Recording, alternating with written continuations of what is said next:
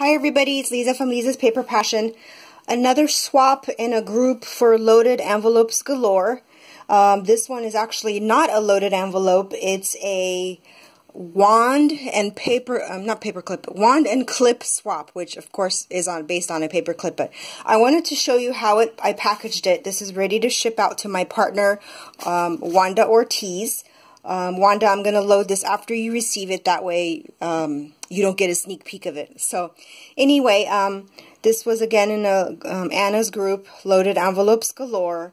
And she thought it would be fun to set up a swap for um, for wands and clips. So let me go ahead and show you. Sorry, my camera's kind of switching. Hopefully that's better. I don't know why it's acting kind of funky, but hopefully you could see it okay. So let me go ahead and show you um, what I made. Um, first of all, the package that this comes into is a recycled Xyron box. Um, it, it's a really sturdy box, and I didn't want to throw it out. And I thought it would be perfect for something. I didn't know what I was going to use it at the time.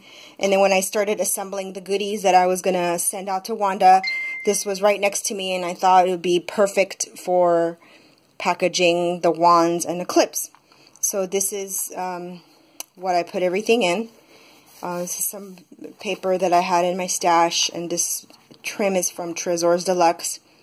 And a flower I bought in a destash so it just became a pretty little box to store everything in. So I'll put that aside.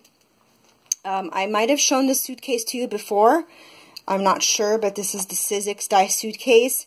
And what better way to package clips um, than a little tiny suitcase. So this is um, what I put everything in.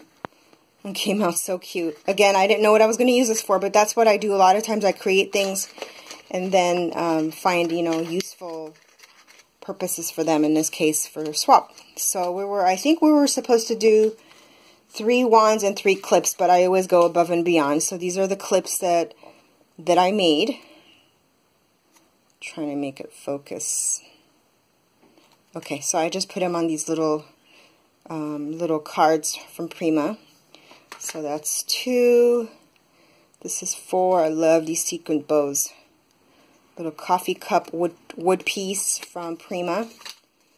And then this is some charms that I bought from Yolanda on uh, I think So Crafty on YouTube, and I made clips out of them. I think they came out cute too. And this is a little um, cushioned candy.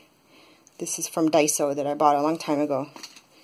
And then one of my favorite clips. It's a little glitter chipboard piece with glasses. This was um, popular on Facebook when I posted it. So this is all packaged to go in a little suitcase. And then my wands, let me put this away real quick. So that's the front and back, kind of looks the same. And then here are the ones that I made. I made four for her, and I each of them need to be packaged um, really pretty. So I packaged them each in a cellophane bag. And these bags I got from Daiso.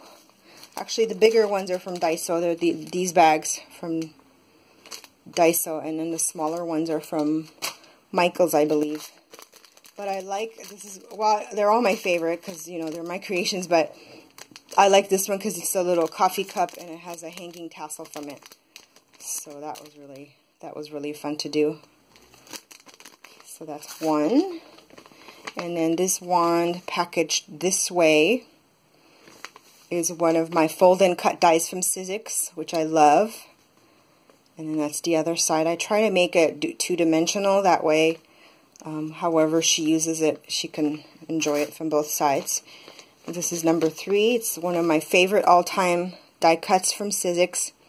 And it's the dress form die. I know it's kind of hard to see through the plastic, but I wanted to show you the final packaging as I'm mailing it out. And then here's a um, shabby rosette with a bling center.